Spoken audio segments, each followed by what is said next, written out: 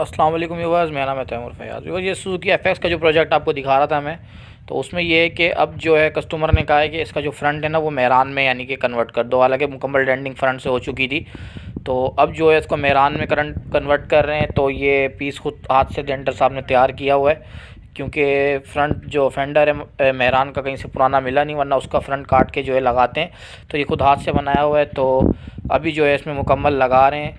Fitting front की और grill की फिटिंग आप देखें, इसके बाद इसमें बम्पर वगैरह और ये लाइट्स वगैरह दोनों फिट हो जाएँगी।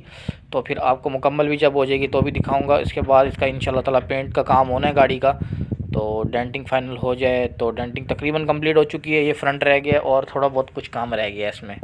तो ये मेहरान की लाइट्स वगैरह रख के देख रहे हैं अभी सेटिंग कि क्या हिसाब किताब इसका बनता है। मज़ीद जिस तरह काम होता रहेगा, आपको साथ साथ दिखाता रहूँगा मैं।